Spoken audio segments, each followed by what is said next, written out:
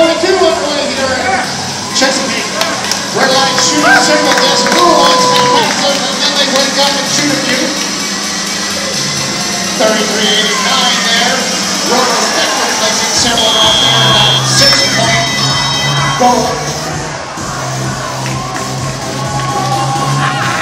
Look at the speed that 33.89 shows. They were over on their side of the field and they quickly run over to their feeder station quickly loaded up. 45-41, the Cavaliers from Archbishop Spalding High School, they're going to go straight to a climb. They've already got a first level climb, that's 10 points. Let's see if they can add to it. Ball 28-18, Team Dynamo right there shooting into that two-point ball there inside. 45-41 Cavaliers, they got a grip on the second run, and they're climbing up a little higher.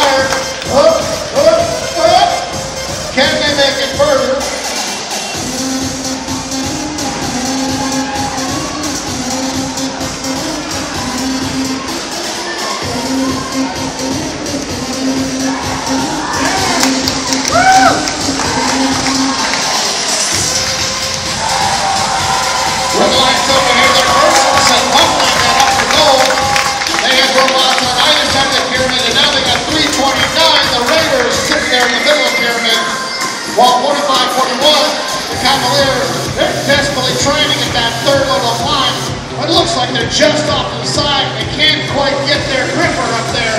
It's just getting stuck there on that upper bar. That might be as far as they go. While 17, 19, and 33, 73, they're just shooting several this up there into the upper goal for the Red Lights. It's a high scoring match here for the Red Lions, 81 to 28 so far. 10 seconds left. Will the other robot trying to climb? Five, four, three, two, one.